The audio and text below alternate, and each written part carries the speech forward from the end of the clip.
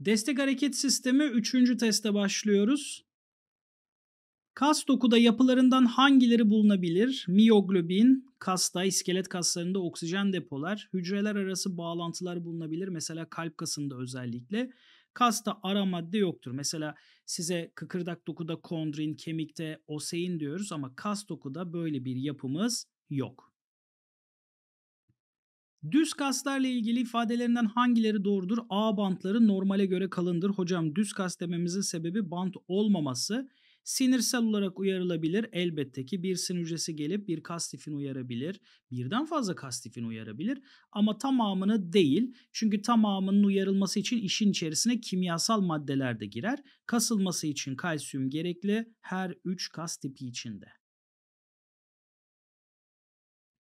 Kasların kasılması ile ilgili moleküllerinden hangilerinin hücre içindeki miktarı artış gösterir? Şimdi kasılma başladığı zaman aslında bizim bir tüketim çılgınlığımız başlıyor. Yani glukozlar azalıyor, karbondioksit miktarı artıyor çünkü bu bir metabolik e, atık.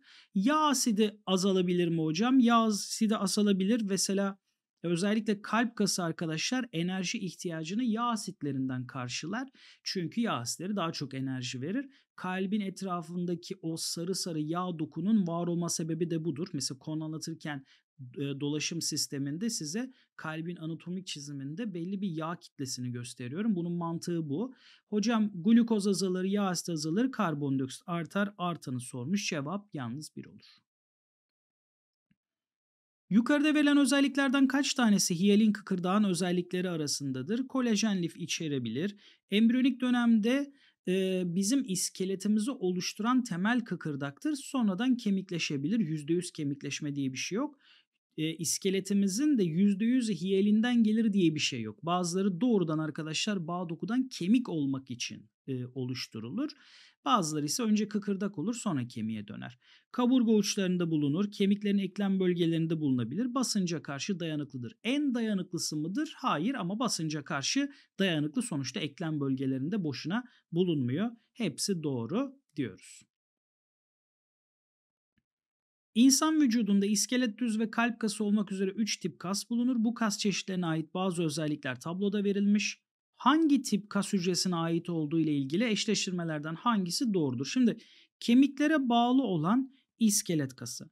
Mide ve ince bağırsakta sindirim ürünlerinin hareketini sağlayan düz kas. Kasılmasında kalsiyum gibi mineraller ihtiyacı varsa düz kas, iskelet kası, kalp kası.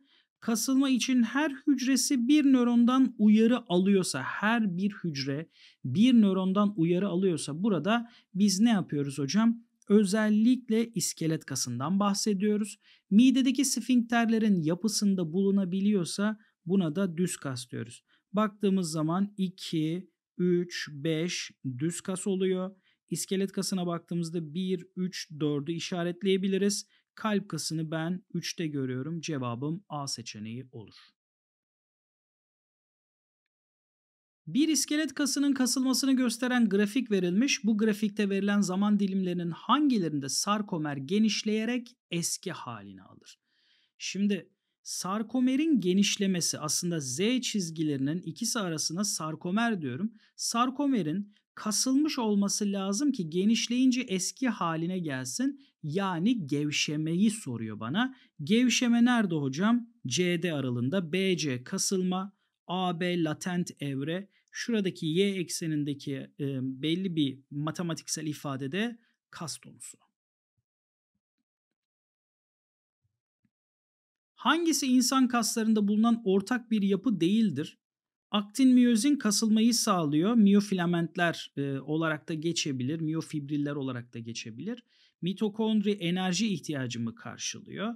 Sarkomer aslında hocam iki Z çizgisi arasında sarkomer diyorduk ama Z çizgisi ifadesini düz kas için kullanmıyoruz. Sarkolemma kas zarına verdiğimiz isim cevabımız D seçeneği olur.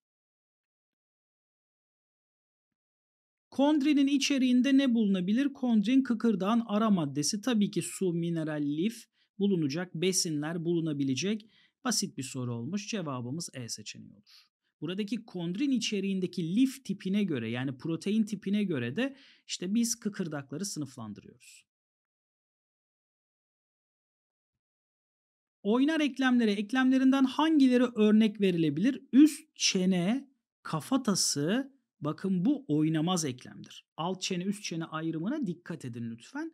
Kaburga kemiği, göğüs kemiği kaburgamıza bağlan mesela şöyle yapabiliriz. İşte 1 2 3 4 5 6 7 7 tanesi sternuma bağlıdır. Göğüs kemiğine bağlıdır. Sonra 8 9 10 7'ye bağlı. 11 12 de boştaydı. Yüzen kemikler anlamına geliyordu. Hocam bu kaburga kemiği, göğüs kemiği oynar eklemlere dahil edilmiyor. Burada ifademiz hatalı. Leyen kemiği ile uyluk kemiği, uyluk femur e, dizinizin üst kısmı arkadaşlar. Leyen kemiği oturga dediğimiz yer işte femur başıyla pelvis kemiğine bağlanıyor arkadaşlar. Dolayısıyla burası oynar eklem kategorisinde. Diz kapağı işte bu tarz leğen kemiği, uyluk kemiği ya da omuz ekseninde arkadaşlar bariz oynar eklemlerimiz mevcut.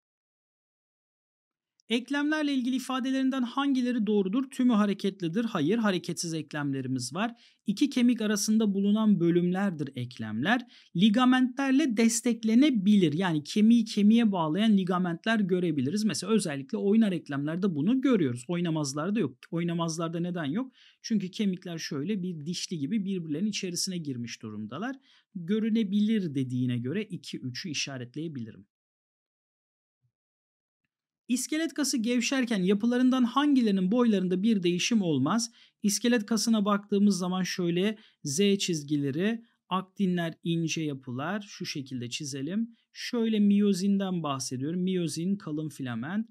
Hocam şöyle kalemin rengini değiştireyim. Miyozinin kendisi şu şekilde A bandını gösteriyor. Bakın bir miktar aktin alıyor. İki aktin arasında sadece miyozini gören H bandı var. Şu şekilde diğer tarafta da şöyle bir miyozin çizdiğimiz zaman bu ikisi arasında şurada bakın I bandı var. Şimdi hocam kasılma olduğu zaman H, I, Z daralır. A kalite band değişmez. A bandı değişmez. Sarkomer Z çizgileri birbirine yaklaşır. I bandı daralır.